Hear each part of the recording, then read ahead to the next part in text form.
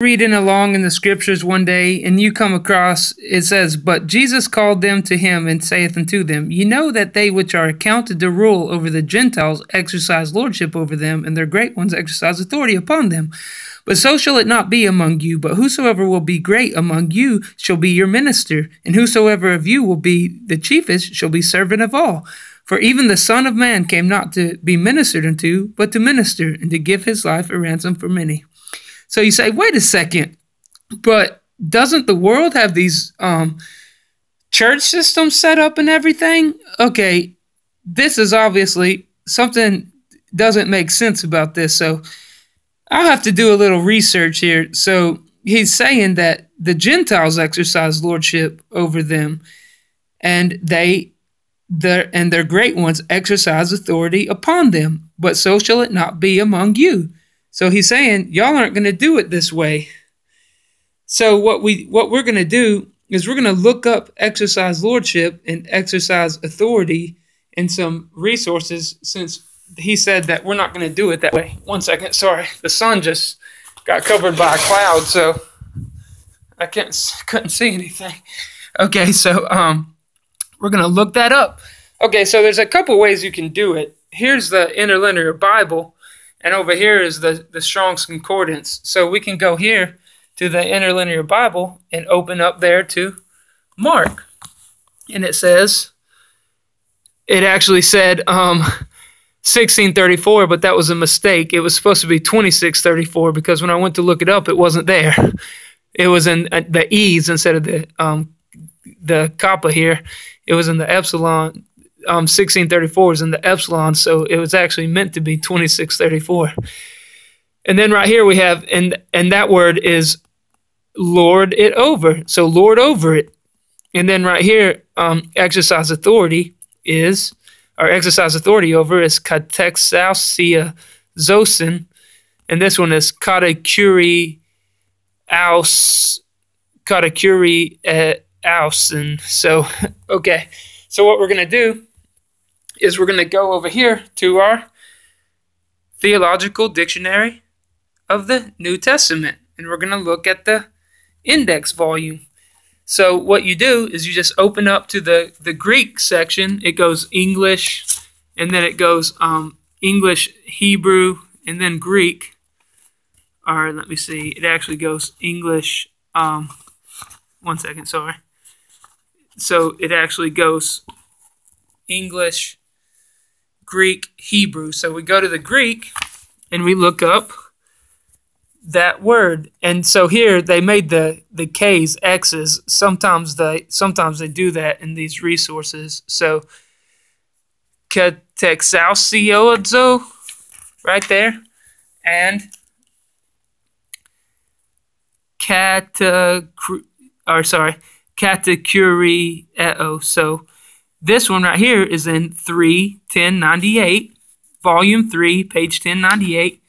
And this one right here is in volume 2, page 575. So what we do is we get our volume 2 and our volume 3, and we open to those pages. So go ahead and open them to those pages. Kataxiadzo and Kata Curiao. Okay, so he said that we're not going to do this. We're not going to do this. And it's like, wait a second, isn't that what all these churches do? Yeah, that is what they all do, but we're not going to do that. So right here it says, um, so it says this word means not to miss, not the misuse of power, but its possession and exercise. So no power at all. It is not found elsewhere in secular Greek, nor in the Septuagint. Um, our Josephus, our Philo, it's not found in any of those. So in the New Testament, it occurs only at Mark 10:42. Here, its primary sense is that they exercise power over them. There is no earthly government without the use of force.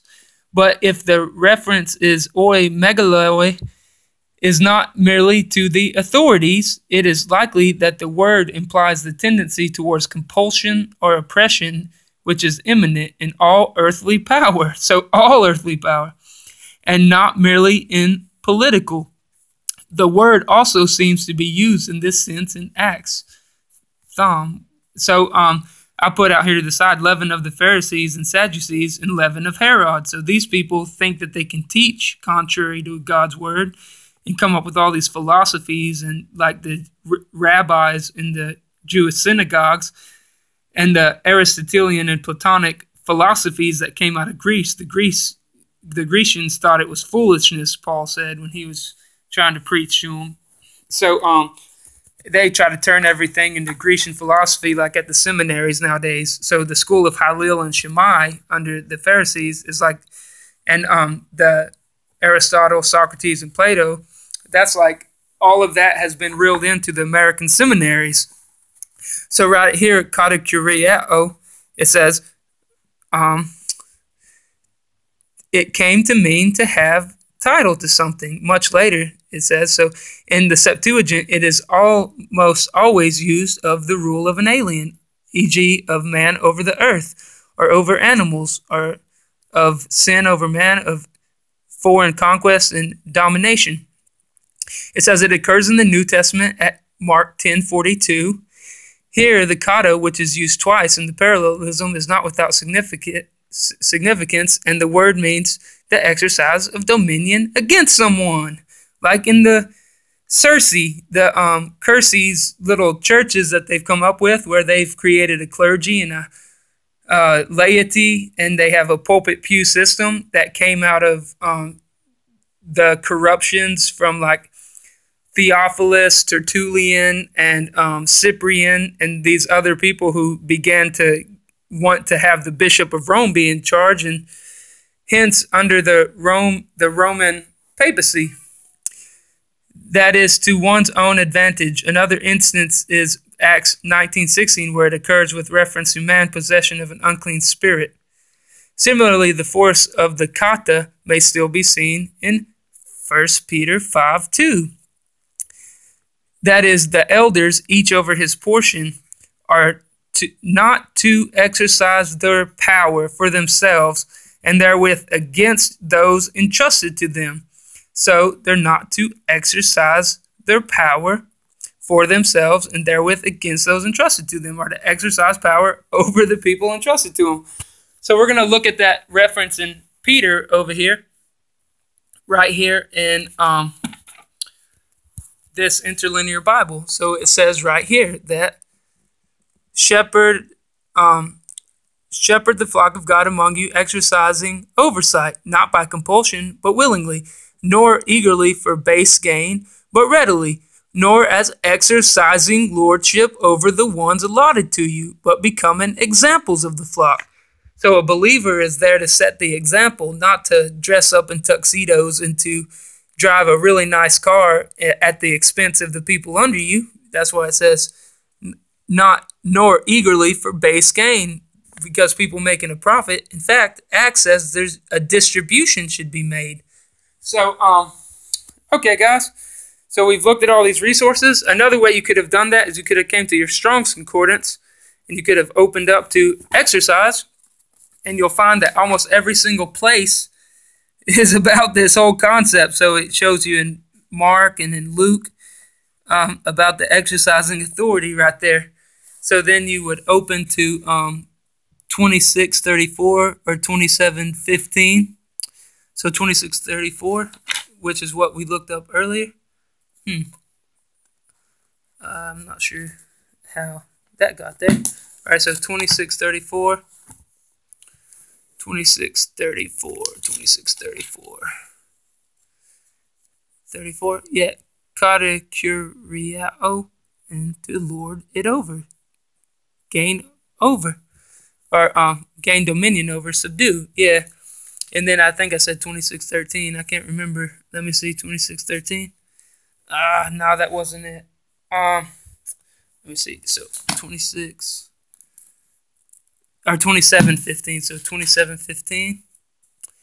Right here, Carter Carter excelsizo or Catexalcizo. That's a hard one. To exercise authority over. Okay. So there's just a couple ways we can look up the definitions there. And we looked up First Peter chapter 5, verses 3, where it says, You won't exercise authority over the flock. And we looked at where Jesus says, You're not going to be like the Gentiles and have this hierarchy. And um, you'll find that there was no hierarchy in the early, um,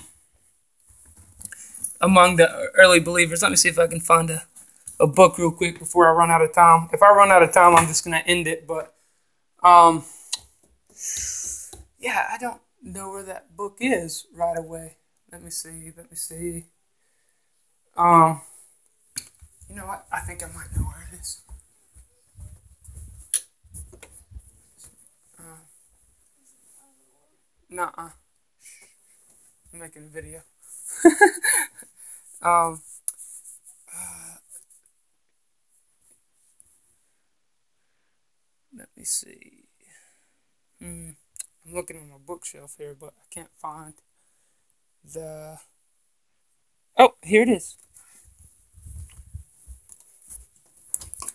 All right, so right here, it actually says. If I run out of time, sorry, guys, I won't get to read this. So it says, um, right there, it says In these early days, the titles of church officials were not clearly defined. Some of them were interchangeable, e.g., overseer for elder. Um, so we actually see in here that it, it explains like it was it was a very simple organization in which no sophisticated hierarchy was involved. And it's talking about the um, the primitive church.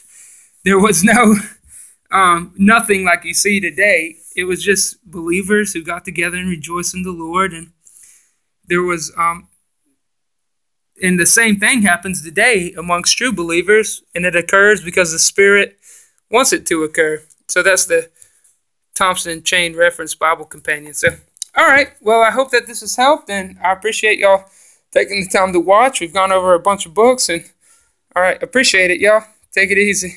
Bye. This Thompson Chain Reference Bible Companion, he actually says right here, he says that um, some say that the pastoral epistles reveal a more advanced church organization than we find in the rest of the New Testament, and presumably too advanced for Paul's day, based on the mention of bishops or overseers, and the elders or presbyters and deacons in what seems a firmly established church organization of a latter day. However, on his first missionary journey, Paul ordained elders in every city, Acts 14.23. Another reference indicates the presence of pastors and teachers at Ephesus, Ephesians 4.11, while in Philippi, bishops and deacons were active, Philippians 1.1. It was a very simple organization in which no sophisticated hierarchy was involved.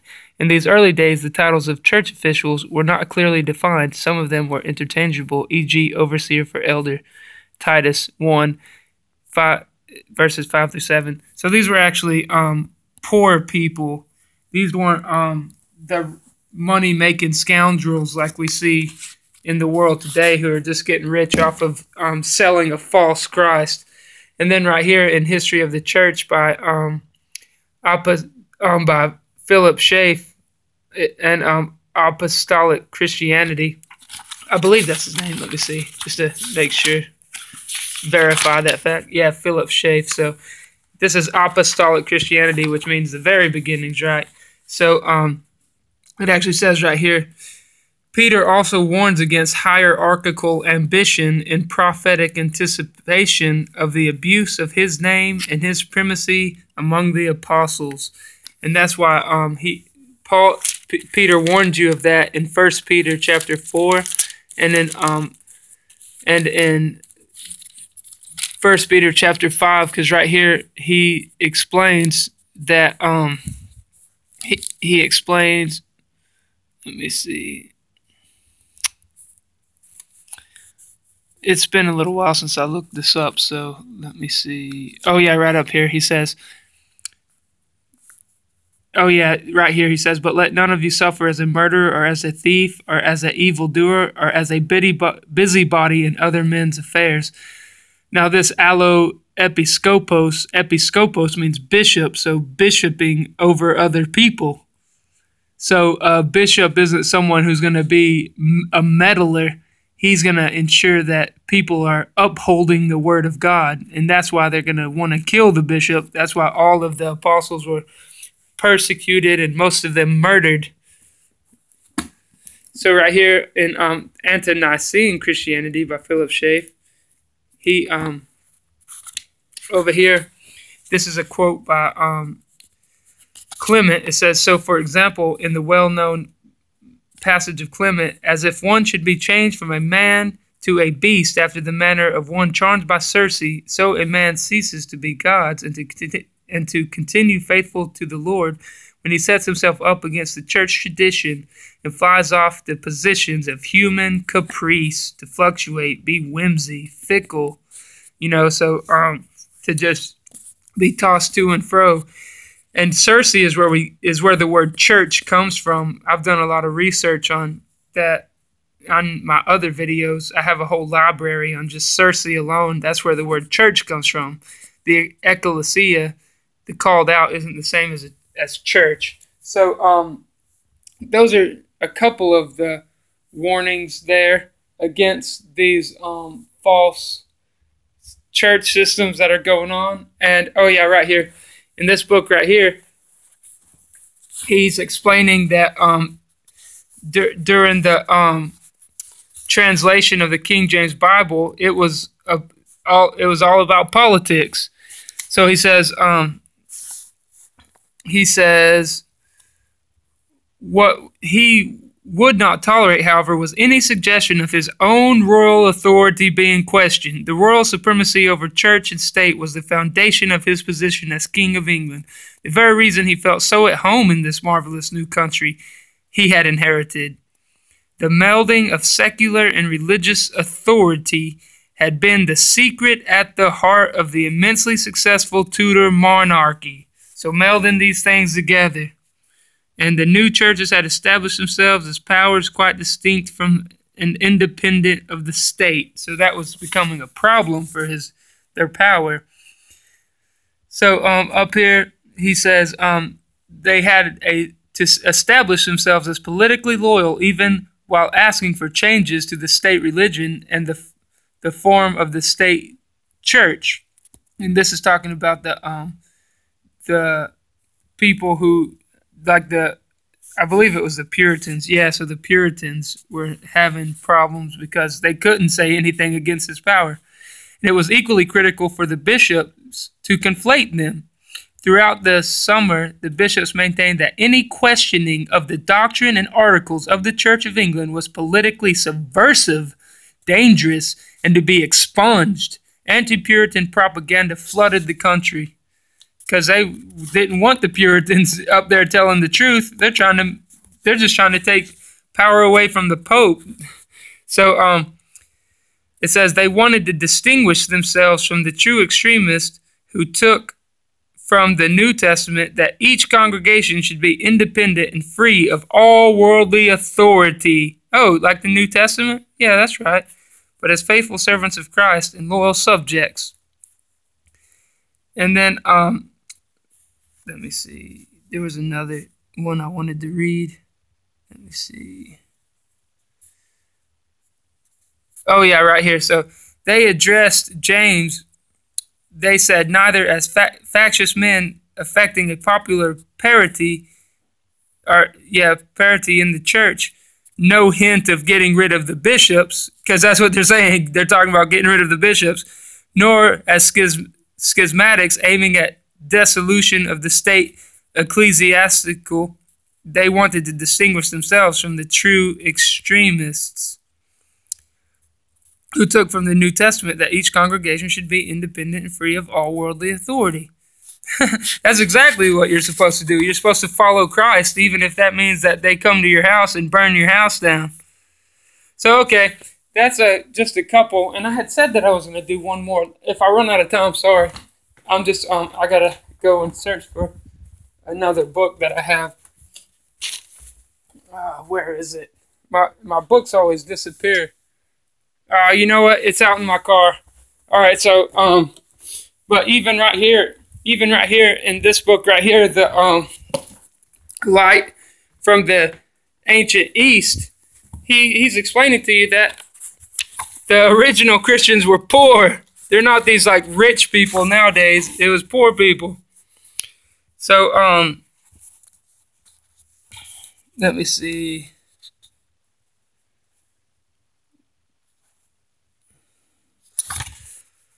All right, so it just it talks about um here I'll just um read a little bit here. This fatal generalization involves, of course, a great mistake. The upper classes have been simply focused with the whole body of society, or, to employ another expression, primitive Christianity has been compared with an incommensurable quantity. By its social structure, primitive Christianity points unequivocally to the lower and middle class. Its connections with the upper classes are very scanty at the outset. Jesus of Nazareth was a carpenter, Paul of Tarsus a tent maker, and the tent maker's words about the origin of his churches in the lower classes of the great towns form one of the most important testimonies, historically speaking, that primitive Christianity gives of itself. Primitive Christianity is another instance of the truth taught us with each return of springtime that the sap rises upward from below. Primitive Christianity stood in natural opposition to the high culture of the ancient world, not so much because it was Christianity, but because it was a movement of the lower classes. The only compare the only comparison possible, therefore, is that between the Christians and the corresponding spiritual province among the pagans, that is, the masses of the ancient world. So it goes on and on. Yeah. So Christianity was uh, um was poor. That's why so much stuff um, you can't even find out a lot of its beginnings is because it didn't. Um, most of the educated men were the rich people, and um, the people who could afford to um, really write it down and take care of it. And education, education is having a a lot of um, educated people is a fairly novel thing as a result of the industrial revolution. So, um, anyways, that's all I got for y'all for now, and um, thanks for watching. So we learned a little bit about the hierarchy of the church, and the original hierarchy was that there was no hierarchy. It was um, poor people who came in fellowship together, as we can see from First Corinthians um, chapter 14 and um, 1 Corinthians chapter 10, like 1 Corinthians chapter 10, 11, 12, 13, 14, those are all good ones about the original church and how it operated. So, all right, thanks for watching, guys. Bye.